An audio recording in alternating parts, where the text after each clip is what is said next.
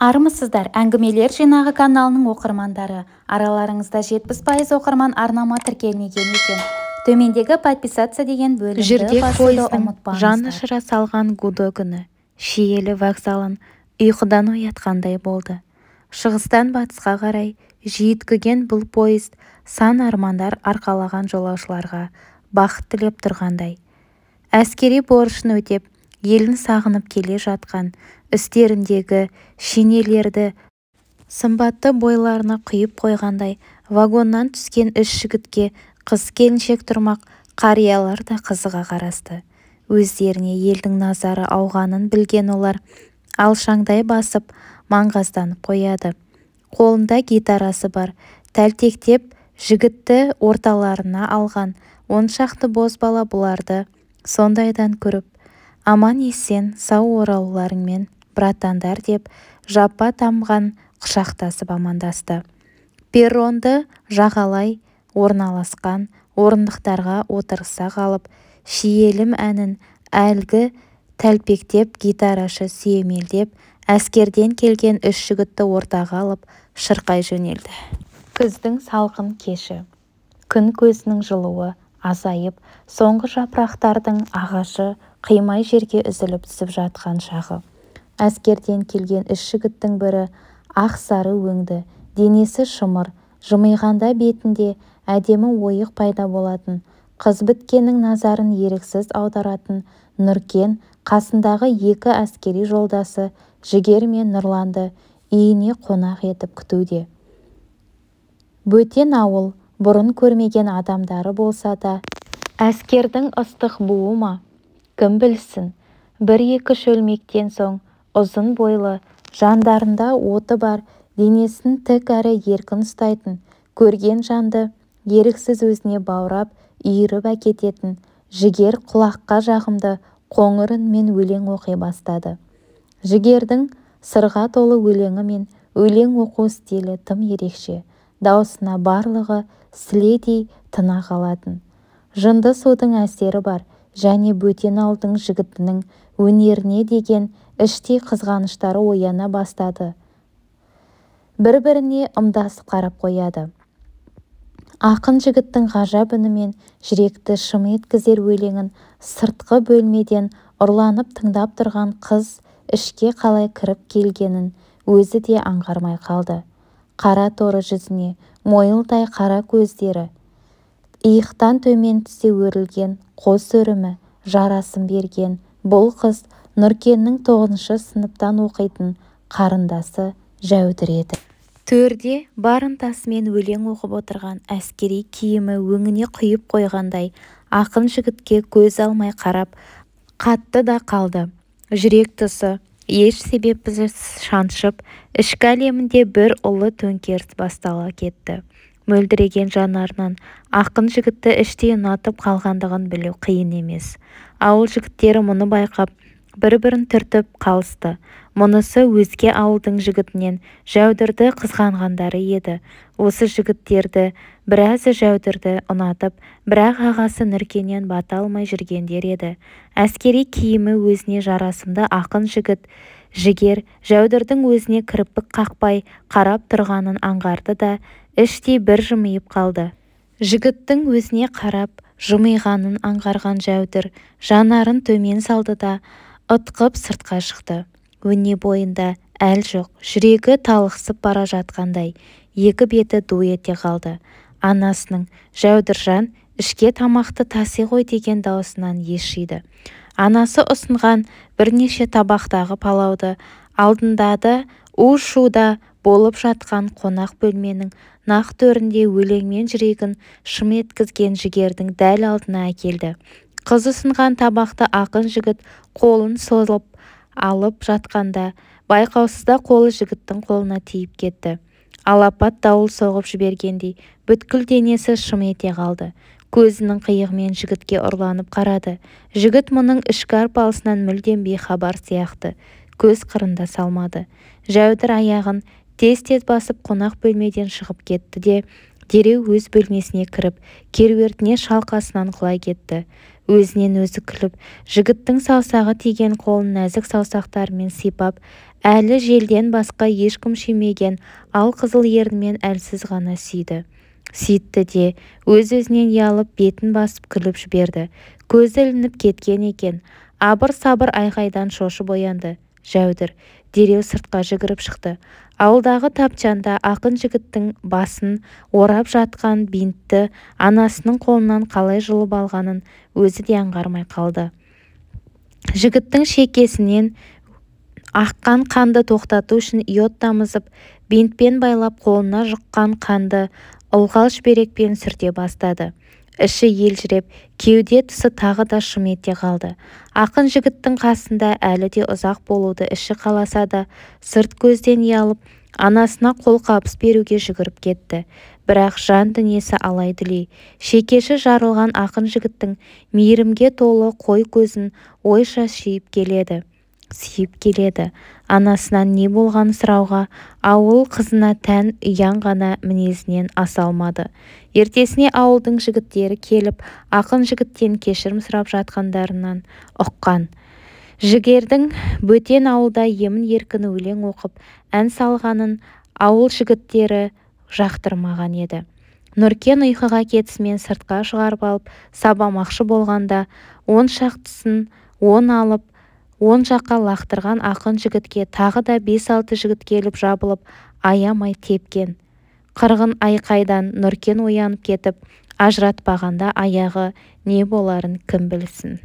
Бөлмесінің терезесінен ақын жігітке қарап тұрған жәудір бүткіл болмысымен егіліп мөлдір жанарынан аққан ыстық тамшы алғашқы махаббаттың азапты да аяулы тамшысы екенін ақын жігіт сезбеді де. Сол күннен бастап жәудірдің көкірегінен кернеген ыстық сағыныш түн болса құс жастыққа тамшы болып сіңіп жатты.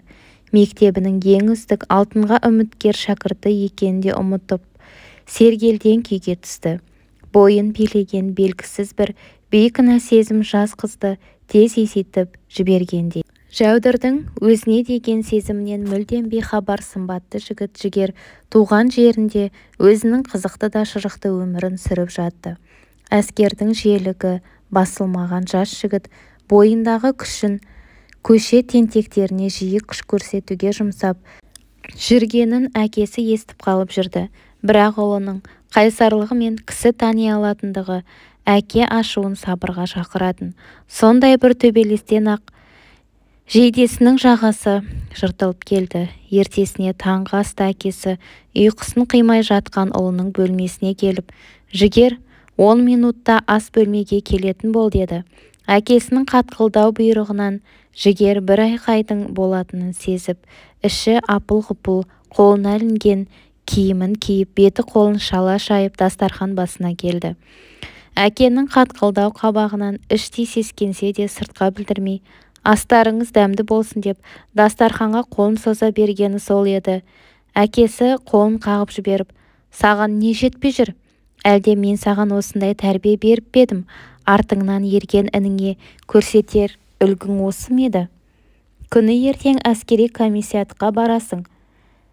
Қапшағайға әскери гарнизонға жұмысқа қабылдап жатыр екен. Осымен әңгіме бітті деді. Ал осымен ас дәмді болсын деп қызыл күрең шайдан екі кесе ішті де жұмысына шығып кетті.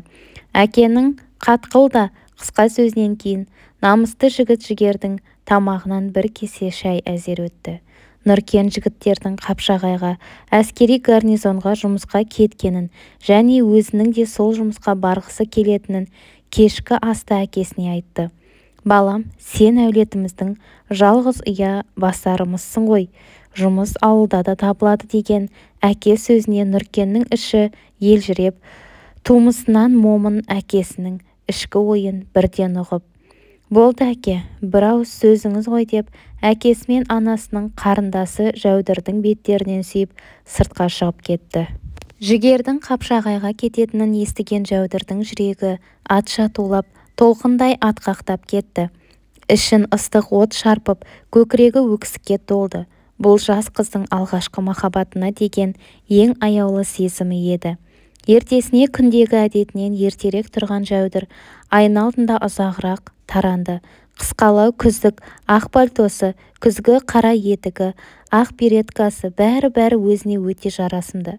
Сабақ уақытынан ертерек шығып аудан орталығына баратын ауыл көліктерінің біріне отырып аудандық комиссиатқа келді. Комиссиат ауласында орындықтардың біріне келіп жайғасып сөмкесіндегі дөңгелек кішкене айнасын алып бас киімін түзеп қояды. Қасынан арлы-берлі өткен жас жігіттер мойындарын бір бұрмай өтпейді. Жас қыздың ботадай жәудіреген көзімен. Тіп-тік шашын әдемі мүсін кімнің болса да назарын өзіне аудармай қоймасы анық. Жан-жағына жалтақ-жалтақ қарап әлдекімді күтіп тұрғаны бірден белгілі. Кенет ой қарындасым мұнда неғып жүрсің? деген құлағына таныс қоңыр үннің иесі ыстық сағынышты жанарымен жалт қарады жәудір. Жігердік жүгіріп барып құшақтап алуға шақ қалды. Аға орталықтағы кітап дүкендерінен ұбт-ға байланысты тест жинақтарын алуға келген едім. Сіздің осында келетініңізді ағамнан естіп сәлемдесейін деген едім деп ұялып төмен қарады. Кітап дүкендері әзір ашылмайды ғой мен ішке кіріп шығайын сен күте тұр дүкенді бірге аралаймыз қарындасым деді де жігер ішке кіріп кетті. Қыздың қуанышында шек болмады. Мектептегі сабағын ұмытып басқа ғажайып әлемге қалықтап ұшып армандап кетті. Кешікпей іштен жігер шыққанда ал қарындасым ағаң бұйырса қапшағайға әскери жұмысқа орналаспақ деп дәрігерлік байқаудан өту қағазын көрсетті. Қыздың ең өне бойын қимастық сезім шарпып өтті. Кеудесіне өксік тығылып тек сырттай жымиып қойды. Жас қыздың өзіне деген сезімі барынан бейхабар жігіт аңқылдақ сөйлеп келе жатыр. Әке мен шешеңнің жағдайы қалай? Сабағың жақсы ма? Нұркенге айт кешкісін біздің ауылда. Бас қосу болады келсін бірақ бірде-бір сұрағына қыздың жауап болмады. Оған мән беріп жатқан жігіт жоқ. Самбырлап сөйлеп кітап дүкенінің есігін ашып қызға жол беріп өзі артынан ішке кірді. Дүкен сөрелеріндегі кітаптардан көз сүрінгендей сатушы сары өңді көк көз әйел бұларға бір қарап қойып амандық жоқ саулық жоқ не іздедіңдер? деді. Сәлеметсіз бе? деген. Жігер сатушыға оқты көзімен бір қарап қарындасыма ұбт-ға байланысты тест жинақтары керек деп сатушыға тіктеп қарады. Жігіттің өткір көзінен қаймықты ма? сатушы әйел жәудірдің қолына бірнеше жиынтықты ұстата салды. Қандай пән таңдадың? Кім болғың келеді? деді. Дәрігер болғым келеді. Бірақ қазір ол ойымнан айнығандаймын деді. Қыздың жауабынан есі сау ма дегендей бажырайып қараған сатушы. Алдымен таңдауыңды жаса сосын барып келерсің деді қатқылдау үнмен. Жастайынан кітапқа құмар болып өскен жігер бұл уақытта ілияс есенберлиннің көшпенділерін қолына алып кітаптың ішіне кіріп кеткен еді. Екеуі аудан орталығынан ауылдарға жүретін автовокзал бекетіне жаяу келді. Жәудірді ауылына баратын көлікке отырғызарда жақсы қарындасым үйдегілерге сәлем айт. Нұркенді кешке ауылда күтетінімді жеткіз деді де ауылына баратын көлікке қарай аяңдады. Өзі отырған көлік терезесінен жігітке деген қимастықпен қараған қыздың жанарынан бір тамшы жас үзілді. Жәудірдің тып-тыныш момақан ғана күндерінің бірі бір сәтте алпарысып күйге түсті. Ақын жігітке деген пәк махаббаты күннен күнге сағынышқа айнала бастады. Жүзінен күлкі кетпейтін ботагөз арудың жанарына мөлдір шақ тұнғыла бастады. Ашық жарқын бала мінез қыз құрбыларынан оқшаулануды шығарды. Қызының бойындағы өзгерісті байқаған анасы қызым сені біреу ренжітті ме? деп сұрады. Бірде оңаша қалғанда ауыл қызының ұяңдығы ма? Тісім ауырып мазамды алып жүр деп өксіп жылап жіберді. Қызының бұлай жылағанын бұрын-соңды көрмеген анасы дереу жинал аудан орталығындағы тіс емханасына барасың деп мал қораның құлаған жерлерін бүтіндеп жүрген үлкен ұлы нұркенге қоңырау шалды.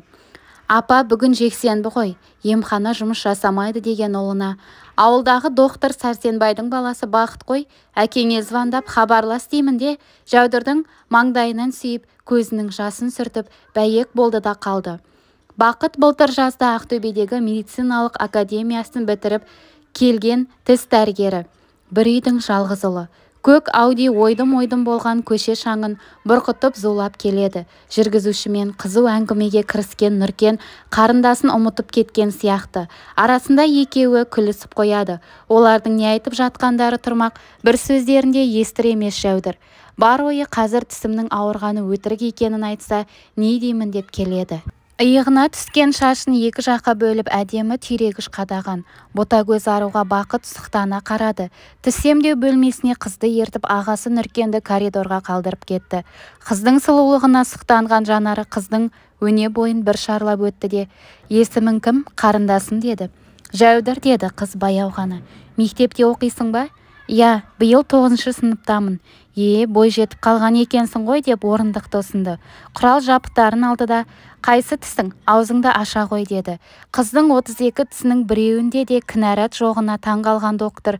Қарындас тістеріңіз маржандай тап-таза екен бәрі сау. Тістің қызыл иегі қабынуы болуы мүмкін деп жақпамай жазып ұсынды. Жолай дәріханадан жақпамайды әперді де ағасы нұркен көрші ауылдағы әскери досы жігерге жолығып қайтатынын айтып қарындасын ауылға қатынайтын көлікке мінгізіп жіберді. Нұркенді жігер аңқылдаған мінезімен құшақ жая қарсы алды. Тумысынан сәл бұйығылау нұркен оң қолын көкірегіне қойып әкей ассалаумағалейкум деп жігердің теледидар алдында отырған әкесіне амандасты. Жанары өткір қайратты қара шашына әлі ақ кіре қоймаған жігіт ағасы жасына келіп уағалейкумассалам де балам төрлет деді. Нұркеннің үйге келетінінен хабары бар сияқты. Ас бөлмедегі үстел үстін түрлі тағаммен толтырып қойыпты. Дөңгелек жүзді ет жеңділеу келген сөйлегенде үні жүрекке жылы естілетін жігердің анасы иісі мұрын жаратындай бір табақ қуырдақты әкеп екі иығына дем алып тұрған шоқ самаурынмен тіл үйірер қызыл күрең шай құйды сыр өңіріңнің қара суығымен қыс ызғары қосылғанда солтүстіктің кәдімгі салқындығы сары аязынан кем түспейді. Бойларында жастықтың қайнаған қызу қаны бар қос жігіт сырттағы қызыл сынақ аязды шыбын жаққан құрлы көрмеді. Үйден сәл ұзай бере жігер анасы шыпыры пыпыры шығып кигізіп жіберген бас киімін күртешесінің қалтасына салып алды. Құлағың үсіп кетер киіп алсай деген нұркеннің сөзіне. Бастысы құлақ емес қауашақтың ішіндегі ми деп риясыз күлкісімен аңқылдай күлді. Екеуі би кеш өтіп жатқан ауыл клубына әскердегі қызықтарын айтып қалай тез жеткендерін аңғармай қалды. Бұл желтоқсан айының оныншы жұлдызы еді. Ертең жігердің арман қала алматы түбіндегі қапшағайға кететін күні. Сағынышын арқалаған жәудір бір жола томаға тұйық болып алды. Сырттай ғашық болған алғашқы махаббатынан күдерін үзгенмен сол бір қара торы ақын жанды жігіт бойжеткеннің кінәсі жүрегіне бір жола мекендеген еді. Үй тірлігіне де сабағына да тиянақты қыз түн болса шимайлап өлең жазатынды шығарды. Өлеңдерін үлкен көп парақты дәптеріне жазып мектепке ұстайтын қоңыр сөмкесінің түбіне сақтап жүрді. Жігер аға мен сізге ғашықпын. Мұным бәлкім дұрыс та емес шығар. Бірақ мен бар болмысыммен бар жан тәніммен сізді құлай сүйдім. Оған алла куә деп басталатын дәптер жолындағы сезім хаты күн өте келі өлеңдерге айналды. Бар арманы бар ойы ақын жігітте. Енді көре алам ба жоқ па деген жүрегіндегі жігердің бір-екі қағазы дұрыс болмай ауылына келгенін аудан орталығындағы емханадан бір сүгінді анықтама қағаз алып қайтадан қапшағайға кететінін естіп бота көзіне қуаныш ұялап кешке дейін өзінен өзі әндетіп жүріп әп-сәтте тындырып тастады. Бір ғасырға татырлық ұзаққа соғылған түнді ұйқысыз атырды. Бозала таңнан айна алдында ұзақ таранған бойжеткен аудандық емханаға баруға қыстай ұшты сағыныш пен қуаныш арпалысқан ұлы сезім жас қызға қанат бітіргендей. Талдырмаш мүсініне жарасымды ақ тоны мен қою бұйра қалың шашын жасырған ақ бөрігі жәудірдің қара торы өңін аша түскендей. Арқасындағы оқулықтары салынған қара сөмкесін алдына алып аудан орталығына баратын автобустың соңғы орындығына келіп жайғасты. Бір қараған жанды өзіне еріксіз баурайтын жанарынан жас қыздың ішкі қуанышын бірден аңғаруға болады. Терезеден ақ ұлпа жамылған тораңғылғыр мен тал теректерге сүйсіне қарап қояды. Барлық әлем өзіне бақыт тілеп тұрғандай аудан орталығына жақындаған автобус тоқтап үш жолаушы алды. Жәудір орнынан ұшып тұрып үш отырды. Өз-өзіне өзі сене алар емес. Әлгі үш жолаушының бірі жігер еді. Жәудір орнынан тұра бергені сол еді. Жігер бірге мінген ақ сары қыздың құлағына бірдеңкелерді айтып қыздың бетіне қарап сүйсіне күлді. Жәудір орнына сылқ етіп отыра кетті. Жаңа ғана қуаныш кернеген көкірегін қызғаныш оты шарпып белгісіз бір мұң оянғандай болды. Іштей жігітті жек көріп кетті. Аудан орталығындағы автовокзалға келіп тоқтаған автобус толы жолаушылар түсе бастады. Жігер алдыңғы есіктен алдымен өзі түсіп әлгі ақсары қыздың қолынан ұстап түсіріп құрмет көрсетуде. Жәудір жүрегін өкініш кернеп артқы есіктен түсті де кілт бұрылып теріс қарай кетті. Ондағы ойы жігерге көрінбеу. Жеңеше жақсы ағама сәлем айт деген таныс дауысты естіп сілтідей тына қалды. Иә иә ақын бала сәлемдемеңді жеткіземін деп әлгі ақ сары қыз өзіне жарасымды күлкісімен сыңғыр ете қалды. Бұл жігердің жақында үйленген немере ағасы беріктің үйіндегі жас жеңгесі еді. Жәудір өз ойынан өзі ұялып кетті. Мен осы ақымақпын ба? Әлде жындымын ба? Анық-қанығын білмей жатып сағынышыма айналған жанды өкпеге қиғаным не? деп іштей өзіне ұрса жөнелді. Сондайда ұзап кеткен жігіттің артынан аға жігер аға деп айғайлады. Ішінен жігер жаным деп айғайлағысы келіп-ақ тұр. Бірақ әттең жігер жәудірді көріп туған қарындасындай құшақтап бетінен сүйіп амандасты. Үйдегілер қалай? Сабақ үлгеріміңді өте жақсы деп естідім. Жарайсың қарындасым деп ештеңеден бейхабар жігіт қыздың арқасынан қағып қояды ал жәудір болса іштей тағы да құшақтап бетімнен сүйіңізші деп өз ойымен әуре. Емханаға кіріп шыққан жігіт. Жұмысым бітпеді екі жерге қол қоймады. Облыс орталығынан өтуім керек екен деді де сыртта өзінің күтіп тұрған қызға сенің сабағың жоқ па бүгін? деп таңырқай қарады. Аға мен аудан орталығына даярлық курстарға келіп тұрамын осылай деді де сасқалақтаған қыз. Әрине мұнысы жалған еді. Аға облыс орталығындағы диагностикада жеңешем жұмыс жасайды ғой бәлкім соған айтып көреміз деді жәудір. Жеңешем деп тұрғаны әкесінің інісі есболдың әйелі. Ол қалай болар екен деді жігер екі ұштылау оймен жеңешемнің нөмірін телефоныңызға теріп мен хабарласып көрейін. Менің ұялымда ақшасы бітіп қалып еді деді. Мұндағы ойы жігіттің номерін қалай да есіне сақтап қалу еді. Мақұл көрейік деп жігіт жәудір айтқан нөмірді теріп қызға ұсынды. Телефонды қолына ұстаған қыздың сезімі тулап жүрегі жиі соға бастады. Мен ұнатқан мен сүйген жанның саусағының ізі бар ғой мұнда деп ұялыны сүйректей саусақтарымен сипап қиялға беріліп кетті. Арғы жақтан алло бұл кім алло алло деген дауыстарды естір емес. Әріректе шылым шегіп тұрған жігер қыздың бұл әрекетіне сырттай таңғалса да сыр бермей жәудір қарындасым ұялға жауап берсе деген ұнамды даусын есін жинап алло жеңеше қалайсыздар? деді асығып.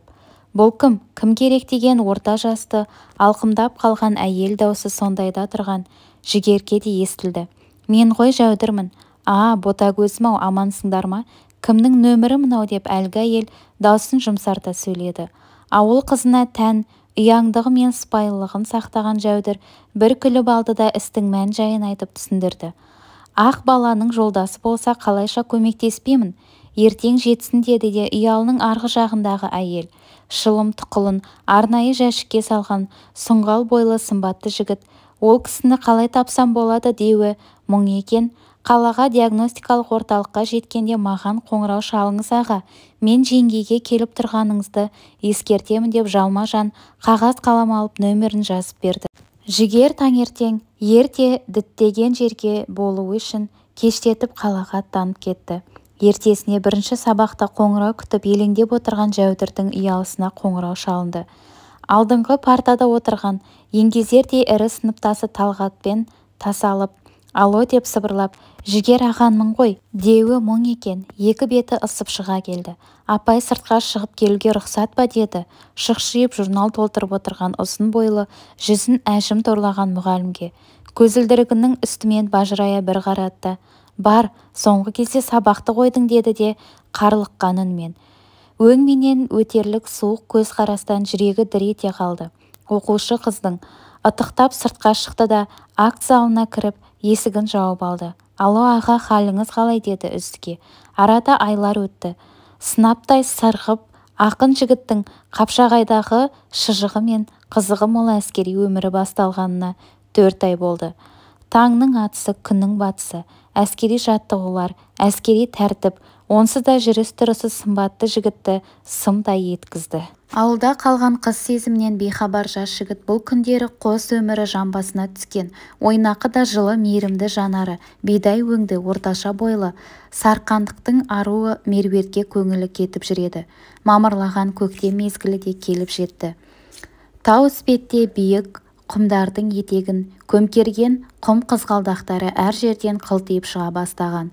Сырдың салқын желі өңін қақтаған әрі алыстағы сүйгеніне деген іштегі арпалысқа толы сағынышы жүзіне мұң ұялатқан жәудір бір мезгіл ауыл сыртындағы бектас көлінің жағасына барып ой сергітуді әдетке айналдырды.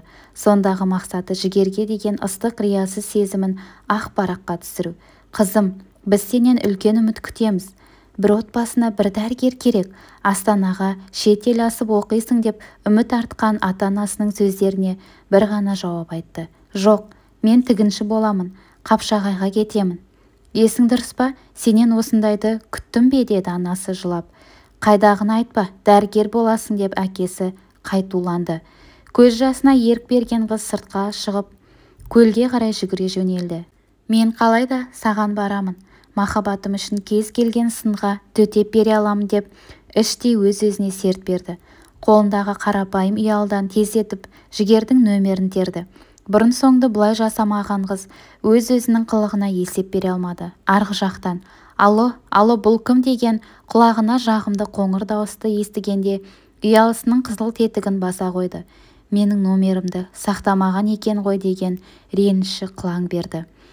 Көлдің жағасына шыққан қалың өлең шөпті құшақтай ептеп жылап жіберді. Кеш бата жәудірдің ыстығы көтерілді. Дәрі-дәрмек ішкенмен қыздың халі төмендей берді. Ауыл дәрігері сәрсенбай ағай қыздың жүрегін өкпе тұсын тыңдап көрді де ауруханаға апарып томографияға түсіріп көру керек деді. Қаншама тексерулер мен қан құрамындағы зерттеулер оң нәтиже берді. Дәрігерлер қыздың науқасын таба алмай ол махаббат ауруы деді. Жас қыздың пәк сезімінен тулап шыққан ішкі сағыныш еді. Жәудір ем-дом қабылдап бір аптадан соң сабағына қайта қосылды. Ертесіне сабақтың үстінде қалта телефонына қайта-қайта елеңдеумен болды. Кешке жігер аға қапшағайда тігінші оқуы бар деп естідім. Соның мекен-жайын телефон номерін жазып жіберіңізші деген қысқа ғана хабарлама жіберген болатын. Бірақ жауап келмеді. Ертесіне хабар болмады. Сарқант аруына есі кетіп жүрген жігерге басқа ешкімнің де керегі жоқ еді. Демалыс күндері қалайда сол арумен жүздесуге асығып жүріп жәудірдің жолдаған хабарламасын оқымады да. Алматы бағытына қарай ақтөбе алматы пойызы шиелі станциясына келіп тоқтады. Көкшіл көйлегі мен ұзынырақ көйлегінің тұсында ұқсас қол сөмкесі қасында үлкен қара жол сөмкесін сүйреткен ағасы нұркен мен жәудір сегізінші вагонның алдына келіп тоқтады. Әлде де ойлан қарындасым сенің жоғарғы оқу орнына түсуге білімің жетеді ғой деді нұркен қарындасына. Аға менің қалауым тігінші болу. Кім болсам да нанымды тауып жесем болды емес пе аға? деді ағасының жүзін басқа жаққа бұрып. Жарайды қалқам жүрек қалауыңа ешкім қарсы болуға қақысы жоқ деді де қарындасын. Сонан соң жол сөмкені вагон ішіне кіргізіп орнына орналастырды. Он үшінші орын. Қасиетті сан ғой жолың болады деп қарындасының маңдайынан сүйіп бауырына қысты. Сен қорықпа қапшағайда әскери досым жігер бар. Сені күтіп алып орналастырады. Тапсырып қоямын деп хабарласып деді де нұркен қалтасынан ұялы телефонын алып қоңырау шалды. Жігердің есімін естуі мұң екен. Жәудірдің жүзіне күлкі үйіріліп көкірегін қуаныш биледі. Жүрегі кетті тырсылдап. Нөмірін жазып алшы деп ағасының жігерге айтып жатқан құлағы шалып қалды. Дүрсілдеген вагон үніне үйренбеген қыз түнімен көз ілмей шықты дөңбекшіп әрі жатты бері жатты. Оның үстіне ұры-қарылардан да қауіптенгені бар. Әйтеуір таңды әзер атырды. Екінші алматыға келіп тоқтаған пойыздан ығы-жығы жолаушылар түсуде. Үлкен қалаға алғаш келуі болса да сырт көзге ештеңке білдіргісі келмеген ауыл қызы денесін тік ұстап сүйретпелі жол сөмкесін сүйретіп купеден енді шыға бергенде жәудір қарындасым деген таныс дауыс бүткіл әлемді нұрға бөлегендей саңқ ете қалды. Жігер жігерді көрген бекіні ару еріксіз жылап жігіттің мойнына асыла кетті. Тоқтаусыз ұзақ жылады. Сағыныштың көз жасы. Арлы-берлі өткендерден де ұялмады. Рахмет саған тәңірім. Сүйгенімнің жанында болуды бұйыртқаның үшін деп іштей күбірлей берді күбірлей берді. Бірдеңкелерді айтып күбірлеп тұрғанынан ыңғайсызданған жігіт қой мұның не қарындасым? Сонша қорыққаның не? Ағаң тұрғанда еш қорықпа деп қызды жұбатып әлек. Қайдан білсін? Өзіне ынтыққан жас қыздың сағыныштан жылап тұрғанын. Оқуына орналасқан жәудірдің ең бақытты күндері өтіп жатты. Жәудірдің оқу орны мен жігердің қызмет етіп жүрген әскери мекемесі өте жақын орналасқан еді. Күнде таңертең жәудірдің жатақханасының алдынан өтеді. Жігер жұмысына. Жігіттің қай уақытта жұмысқа барып қай уақытта өтетін уақытын жаттап алған қыз терезеден сыртқа қарап сол бір қара торы өзге жігіттерден сыртта еш айырмасы жоқ. Ауыл баласына ұзап кеткенінше ынтыға қарап тұратын. Жігердің жүрген жүрісі бойын тік ұстауы жалтыраған қара әскери етігіне дейін өте ыстық болып көрінетін. Іштей елжіреп көзімен аймалап тұратын бота көзі болды.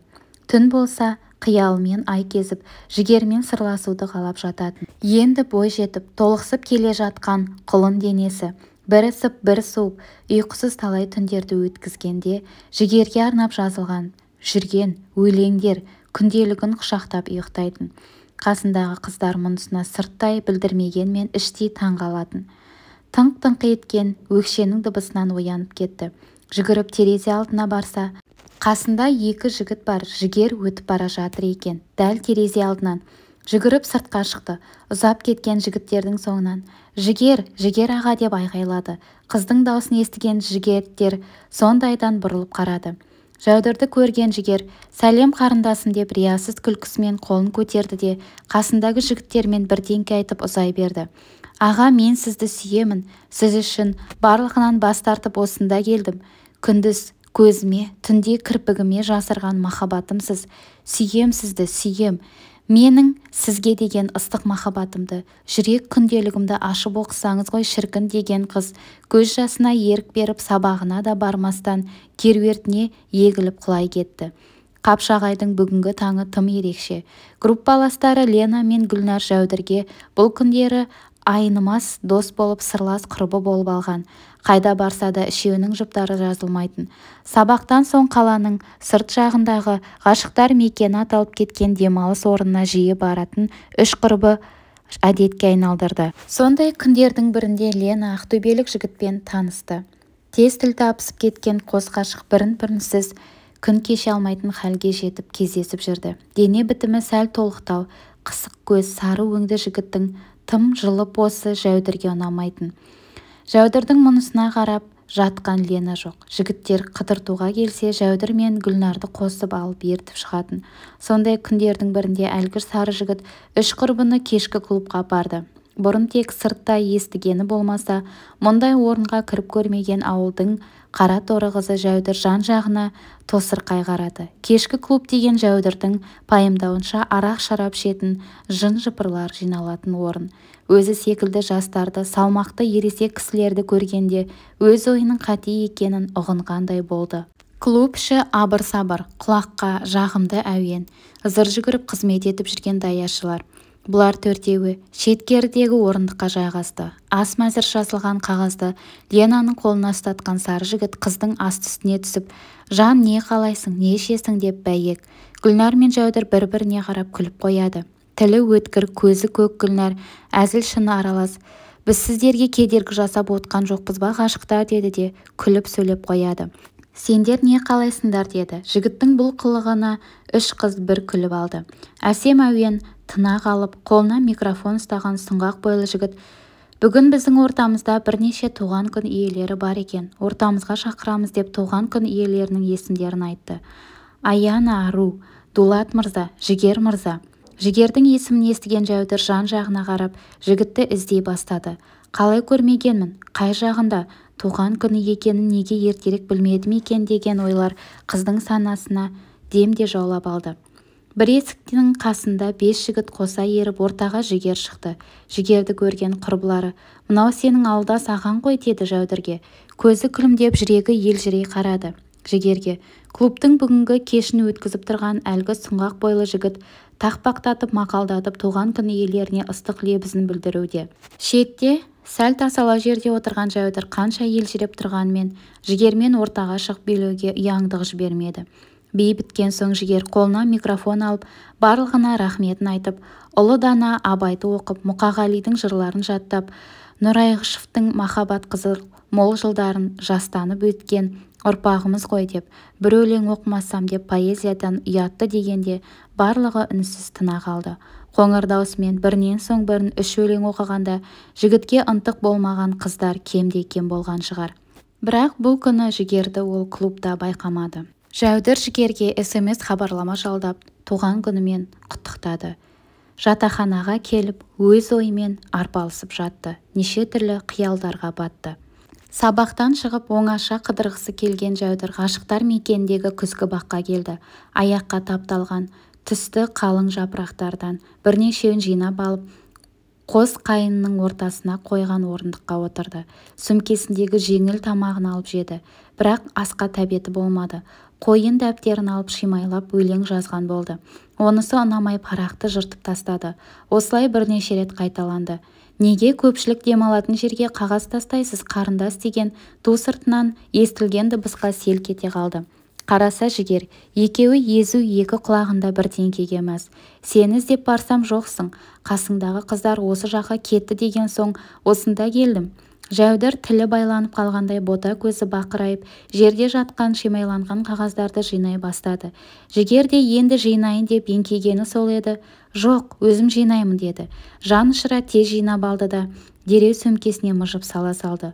Қыздың мына әрекетіне таңданған сезімтал жігіт қарындасым сенде бәрі дұрыс па? деді. Иә иә деді. Ертең қалалық мәдениет үйінде жас ақындардың мүшәраясы өтеді. Соған кел деді. Жігіттен шақырту алған қыздың қуанышы қойнына сыймай иә иә барамын аға деп қуанды. Сұңғыла ойлы ақын жігіт қыздың сонша қуанғанына іштей бір күліп алып жүр бір жерден тамақтанып алайық қарындасым деп қызға қолын созды. Жігіттің қолын ұстап орнынан тұрғызып орындықта тұрған сөмкесін алып беріп ілтипат көрсеткеніне іштей дән риза. Бөлмеге сән беріп тұрған үлкен гүл салатын вазаға қарап ойланып жатқан жәудір арман қанатымен әлемді шарлап кетті. Менің аппақ сезімнің кейіпкері. Өзіңмен мәңгілікке бір болуды қалай армандайтынымды білсең ғой шіркін.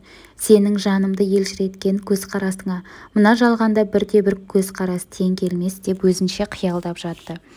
Көзі енді ілінген жәудір шошып орнынан атып тұрды. Күнделігім күнделігім! Қойын дәптері есіне түсіп орнынан ұшып тұрды.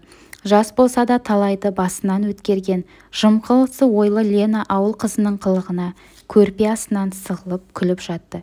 Лена отырса отырып жүрсе жүректі көлеңкесі болған ұйқысы қалың гүлнар тырп етпей пысылдап жатыр. Күнделігі кеше керуерттің үстінде қалғаны есіне түскен. Жәудірдің жүрегі зырқ ете қалды.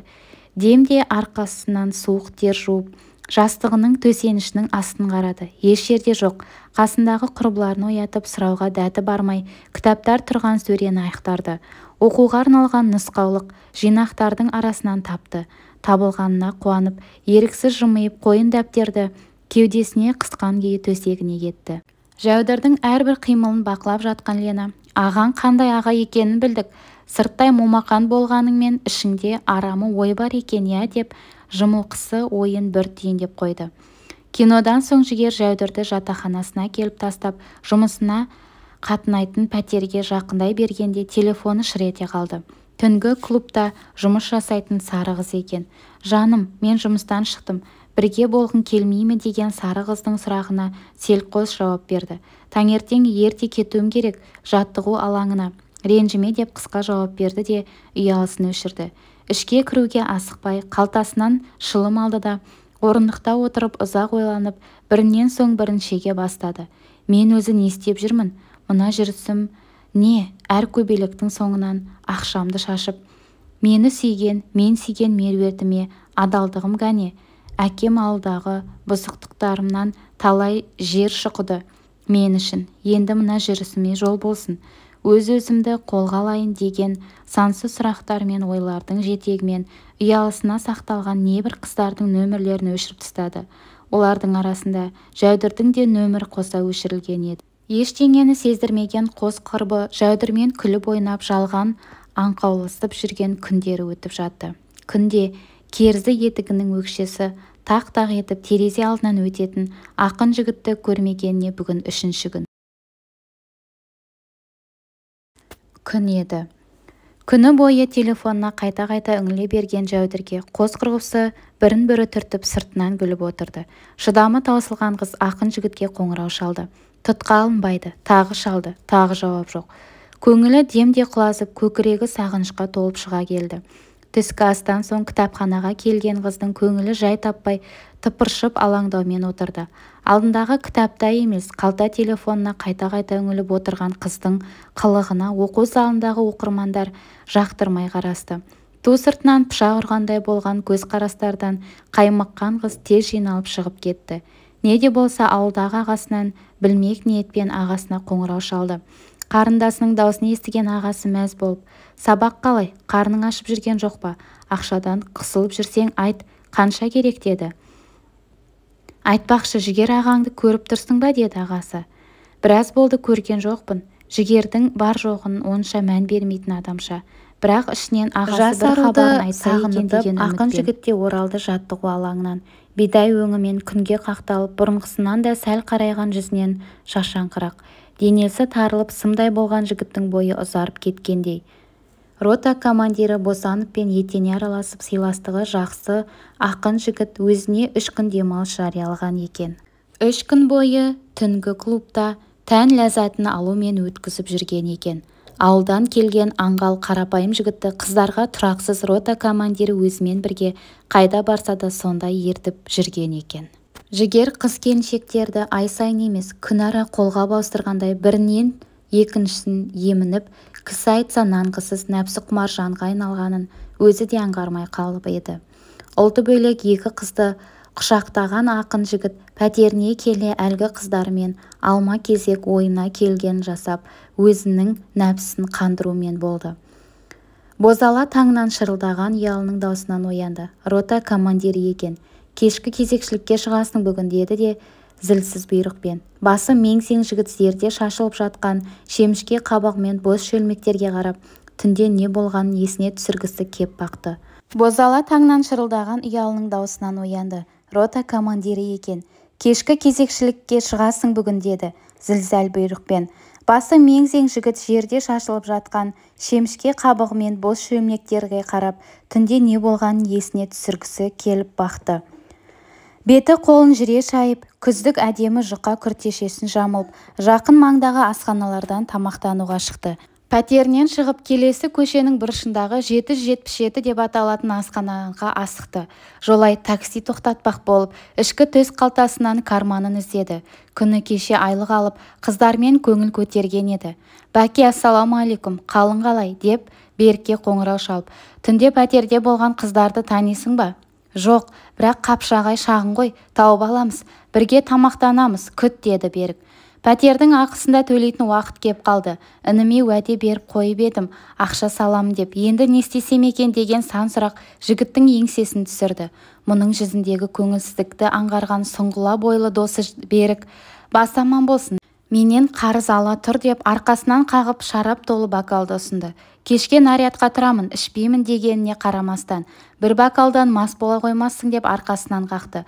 Бокал толы ащы судан соң жігер бар уайымын ұмытып та кетті. Бір-бірімен күлісе ішке үш-төрт қыз кірді даяшы жігіт кедеген қыздардың қарсы алып төрдегі үстелге жайғастырды. О кешкі көңіл көтеруге мына қыздармен танысып алайық та досым деген беріктің сөзіне. Мен болмаймын ғой бірақ саған таңдап берейін талғамым мықты ғой деп қарқылдап күлді жігер. Анау оң жақта отырған қызбен таныссақ көңіліңізден шығары анық. Ауылдың пәк қызы екені көрініп-ақ тұр шіркін деп берік жұтына айтқан қызды көрмек болып бұрылды. Өз-өзіне көзі сенбей әрі өз ойынан ұялғаны сонша тілі байланып қалғандай болып ол менің қарындасым ғой қарындасым деуге ғана тілі келді. Мен танымайтын қандай қарындасың жан жолдасым нұркеннің қарындасы жәудір. Не қылады дейсің өзің ұялсаң мен көрейін де рахатын деген масаң болып қалған беріктің жағасынан жұлқи тартып әттең досымсың мына пышақ жүрегіңе қадалар еді деп үстел үстінде тұрған пышақты алып бар күшімен үстелге тақ еткізіп қадады да орнынан тұрып есікке беттеді. Бағанадан сырттай қарап отырған жәудірдің қасына жетіп барған берік қызға нөмеріңді айт деп масаң үнмен. Мұны көрген жігер беріктің жағасынан тартып қалды да бір ұрды. Ащы шарапқа қызған екі дос жаға ұстасып бірін-бірі біраз жұлқысты жәудір келіп ажыратпағанда соңы не боларын кім білсін. Аға мен үшін қойыңыз деген қыз сөзіне келіскен ақын жігіт қарындасым жүр деп жәудірді ерте шықты.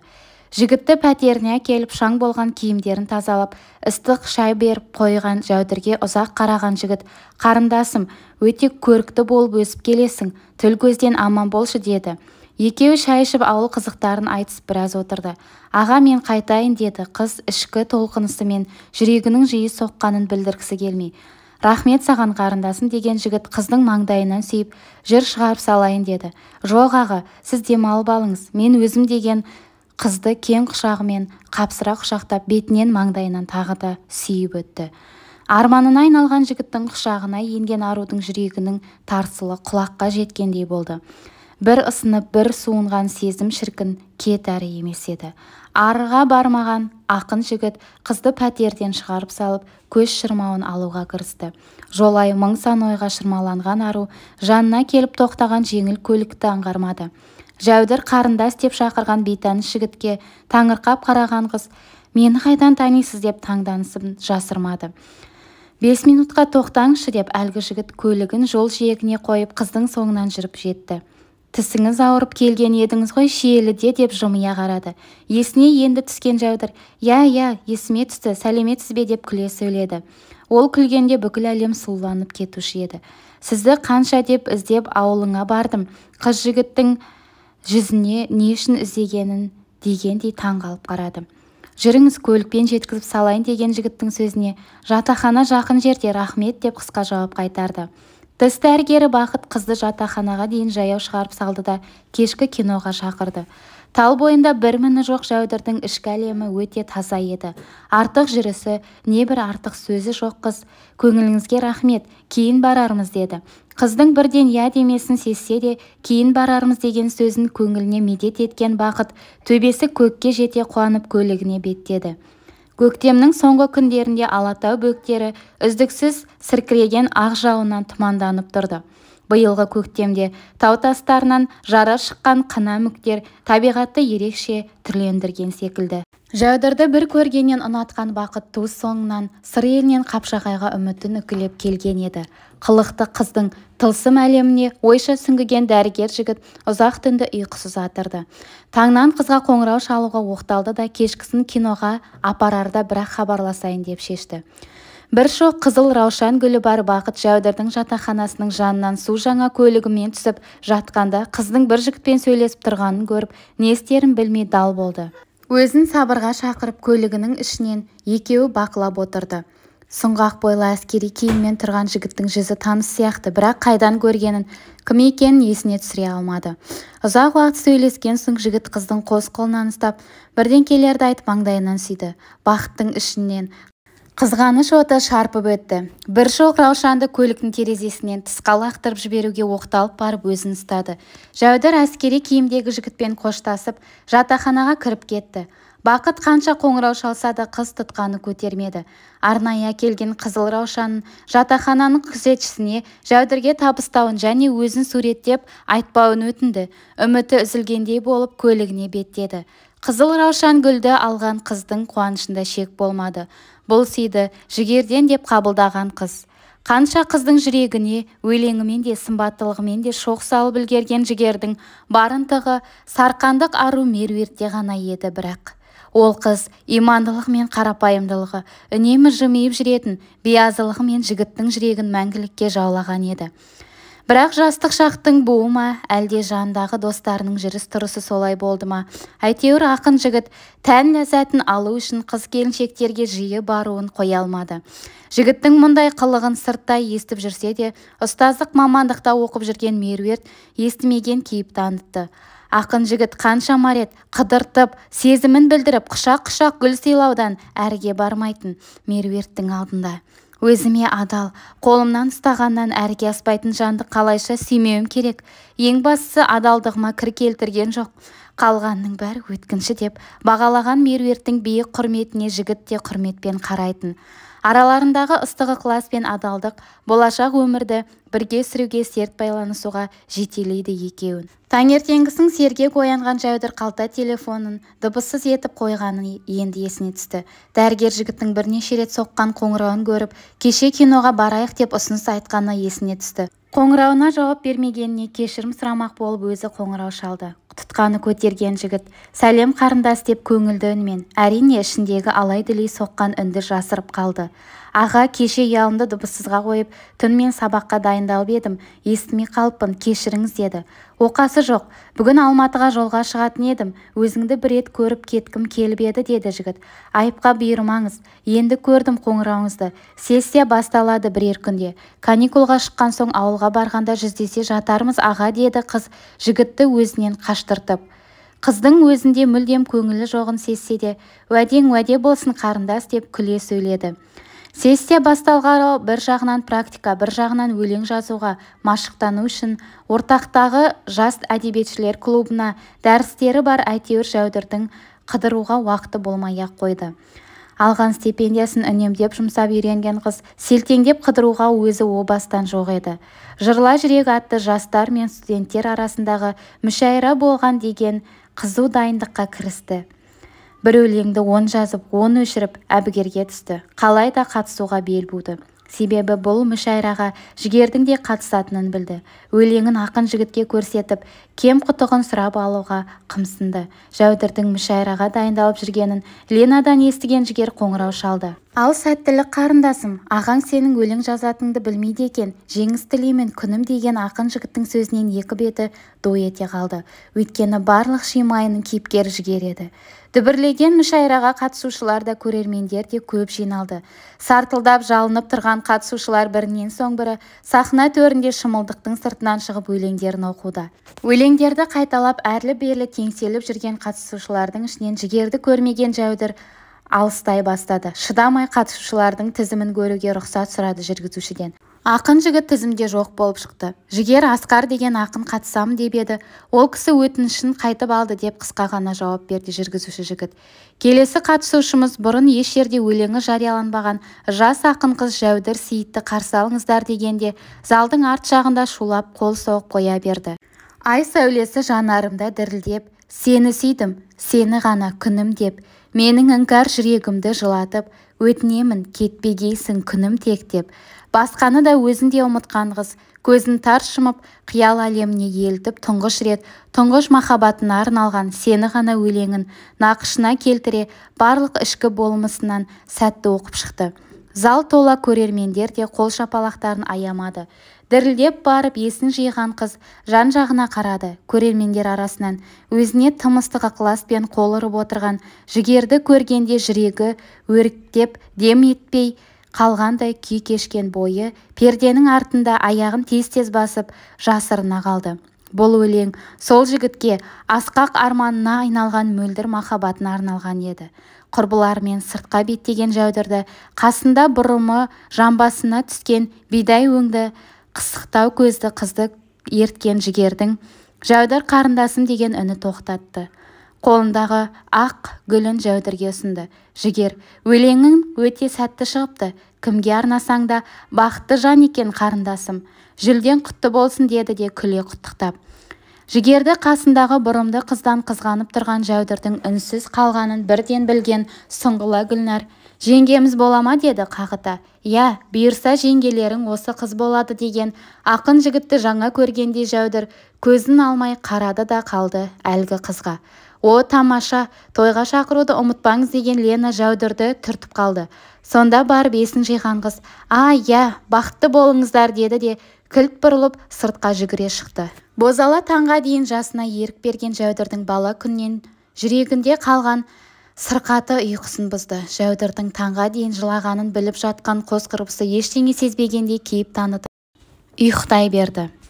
Жазғы салым еңбек демалысын алған жігер меруертті ата-анасына келін етіп апаруды ұйғарды. Салмақты ойлы қыз жігітті жаман әдеттерден өзінің мейірімді жанарымен кешірімшіл кең жүрегімен арылтқан еді. Аса тартымды бір көрген жарынды өзінің бауырмалдығымен баурап алатын қыздың өзіне деген құрметін бағалаған ақын жігіт бар бос уақытын тек меруертке арнады.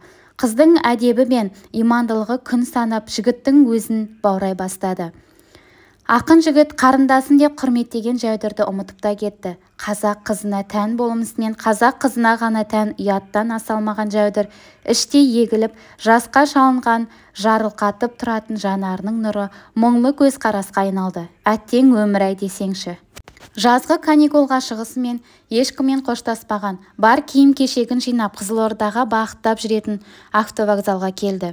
Іші алай-дүлей арпалысқа толғанымен барлығына нүкте қойып біржола қоштасты қапшағаймен. Автобустың жүруіне әлі қырық минут бар. Бар арманым қапшағайға қалдырған ақын жүректі қара қыз тезірек кеткісі келіп қайта-қайта қол сағатына қарағыштай берді.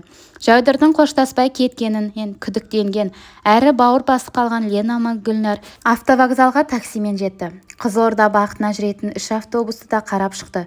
Төртінші автобустың алдыңғы жағынан орындықта отырған жәудірді көрген қос құрбы әй-шайға қаратпастан сыртқа сүйрей жөнелді. Тумысынан ақ көңіл гүлнәр. Сөздің қысқасы біз сенің жігерге ғашық екеніңді білеміз деді төбеден түскендей. Көз жасыңа татымайтын адамға бола сонша күйзелгенің не деді лена. Біз сенің күнделігіңді оқып қойғанбыз деген гүлнәр. Айыптымыз бізді кешір деді жәудірді құшақтап. Көз жасына ерік берген қыз тіл қатпастан кері бұрылып автобусқа беттеді. Неге айтып қойдың деп ұрса сөйлеген лена. Елде сол жігерден басқа жігіт құрып қалғандай сонша еңіреген не істеп иығын қиқаң еткізе таңғалып. Не деген тас жүрексіңдер? деді гүлнәр жәудірге деген аяушылығын білдіре. Автобустан қолында аққудың суреті бар үнемі жанынан тастамайтын түнде жастанып жататын қалың дәптер күнделігі бар жәудірге. Бұларға қайта келді де гүлнәр бұл менің саған аманатым. Қандай күн туса да қандай жағдай болмаса да осыны жігерге жеткізгейсің деді бота көздері жасқа тола мен енді қайта келмеймін достарым. Оқу орнынан барлық құжатымды алдым. Біржола кетіп барамын. Қайта жүрсеңдер де аман болыңдар деген қыз екеуін құшақтап алды. Жәудір мінген автобус таулар мен жасыл желек жамылған сұлу қапшағайды артқа қалдырып сары даланы бетке алып жүйткіп келеді. Махаббат жолында барлығын тәрк ете алатын бір жанға жанды жан тәнімен шын сүйе алатын құрбыларының қайсарлығына сүйсіне де қимастықпен қол бұлғап қос құрбы қала берді.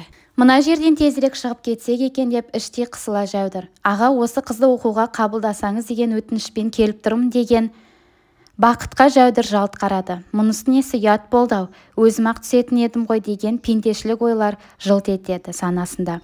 Орынсыз жерге пышақ ұрмайтын жиеннің мінезін білетін нағашы жалғыз жиен өтінсе неге орындамасқа? Барымда нарымда сол апам ғой деген жігіт ағасының сөздерінен қазақилық пен бауырмалдылық аңқып тұр. Бақыттың бұл әрекетіне не қуанарын не өкпелерін білмей дал болды қыз. Тапсыратын құжаттар тізімін әкеліп берген хатшы қызға рахмет халқам бара бер деген декан жиені немесе қыздың қолына ұстатты қағазды. Қарақтарым өмір ақ пен қарадан тұрады ұлы жол. Сол ұлы жолдың жаңа қадамын бастамақ екенсіңдер. Алла бақтарыңды ашсын деп батасын беріп есікке дейін шығарып салды. Қыздың жүзінен қуаныштың табын байқамаса да мән бермеуге тырысты бақыт. Екеуі екі көше айналып өткенше үнсіз отырды. Сізге алғысым шексіз деді. Кенет қыз үнсіздікті бұзып. Жолдың шетіне көлігін тоқтатқан жігіт қыздың оң қолын қос қолымен қаусыра қысып жүрегінің тұсына қойып жәудірім менің жүрегімнің үнін сезесің бе? Ол ендігі жерде тек бір сен деп соғатын болады.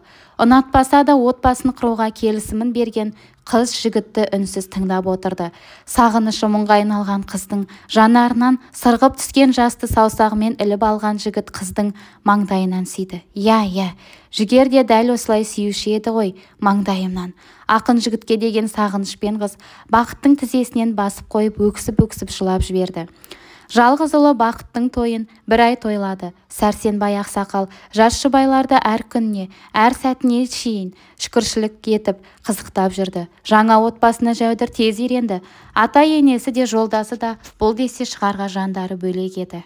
Жұбайлық күндердің қызығымен отбасы мүшелерінің жылуы жәудірдің мұңаюына да өткеніне өкінуіне де мұрша бермегендей күндер өтіп жатты. Екі айдан соң жас жұбайлар бірі жұмысына бірі оқуын жалғастыру үшін қалаға бөлек кетті.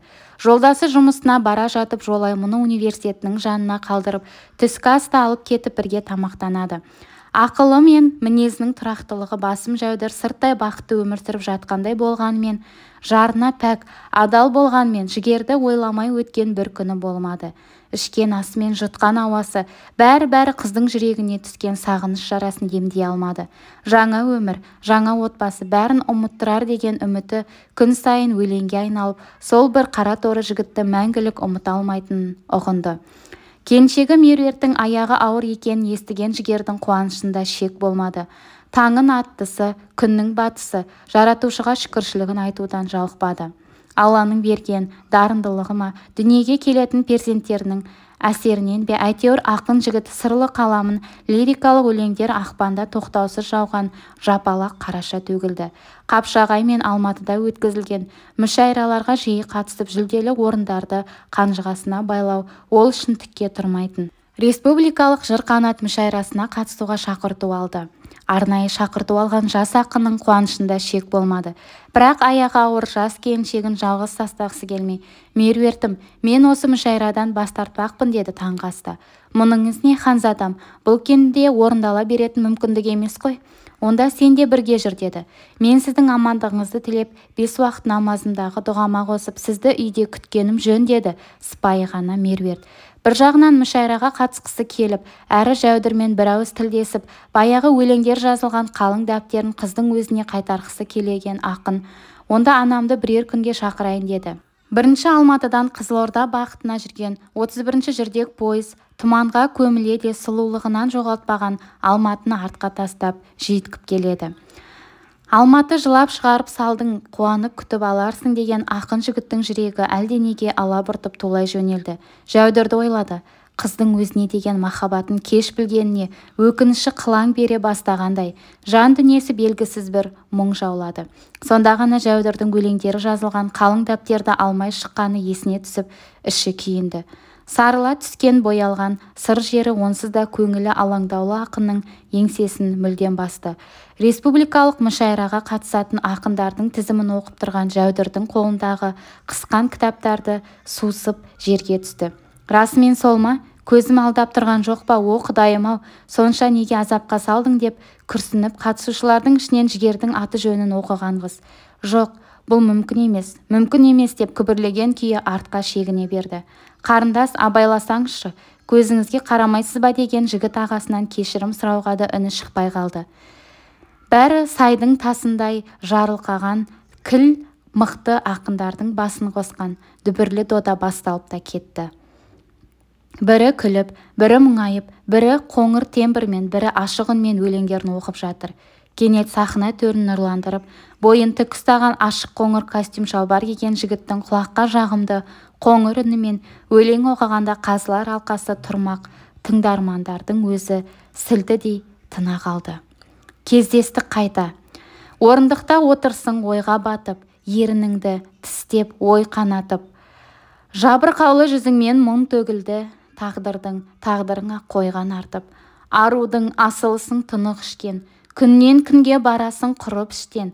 Жаныңа ем болатын сөз таба алмай сыртыңнан тұрдым үнсіз тынып іштен. Тағдырыңды енді кім шимайлайсың? Дәл осылай өлең шумақтарымен аяқтағанда өлеңнің құдіретімен ақын жігіттің сымбаттылығын қоса өлең оқу ерекшелігіне ду қол соғылды ұзақ соғылды. Жігерден көзін алмай үнсіз қимылсыз тыңдап отырған жәудір көз жасына ие бола алмады.